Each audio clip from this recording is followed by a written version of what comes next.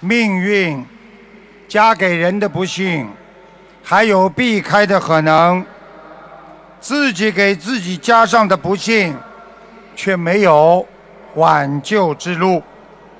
我们所犯的恶业，虽然不会马上受报，犹如刚刚变质的食品不会马上发臭一样，但是它们散发出的恶毒，犹如你吃过坏的食品一样，它会慢慢的腐烂你的肠胃，扰乱你的心灵安宁啊。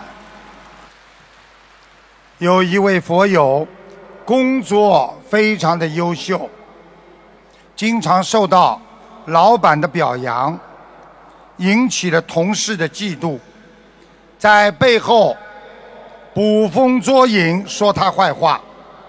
这个佛友非常的苦恼。有一次，他预约台长拜访我，问我有什么方法可以解决。台长把这位佛友带到我的阳台这个地方，在阳光底下，对着他的影子，我拼命地踢了他几脚。我问他：“你痛吗？”这个佛友不解地问：“台长，你踢我的影子有什么说法吗？”台长问他：“有些人嫉妒你，说你的坏话，他们说的是真的吗？”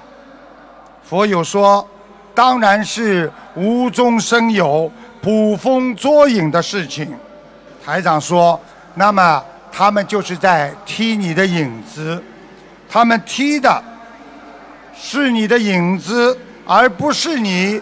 他们踢痛的是他们的脚，你又有什么可以痛呢？”